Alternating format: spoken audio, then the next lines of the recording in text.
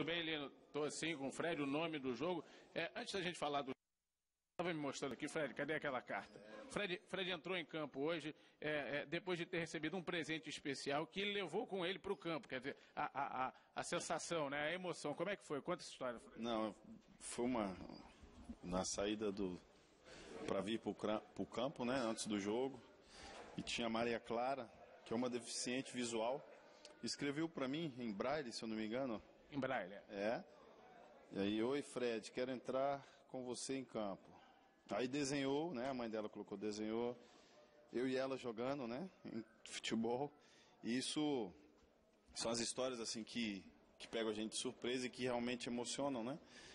E eu entrei no, no ônibus e fiquei muito emocionado, né? E falei, pensei se eu fizer gol e conseguir o resultado bom pra gente hoje, eu queria homenagear a Maria Clara. Então, Maria Clara, um beijo no coração para você. Você é muito especial.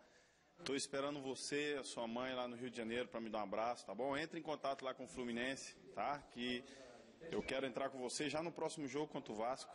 É, entrar com você no, no, meu colo, tá bom? Beijo. Fred, gol agora em pacote? É, a fase está muito boa, né? Não só minha, mas do, do time inteiro. E tem que aproveitar, tem que aproveitar o meio de campo que está voando, os laterais que chegam e cruzam a todo momento a equipe está encaixada, está com moral. Então, graças a Deus aí, a bola tem entrado, está sendo um momento muito bom para mim, muito bom para a equipe.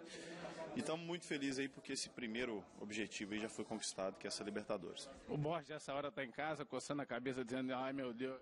Não, o Borges tá. O Borges faz gol todo jogo, né? Ele tem mais dois jogos aí também. Eu acho muito difícil alcançar o Borges, porque nesses dois aí ele vai fazer mais uns quatro ainda.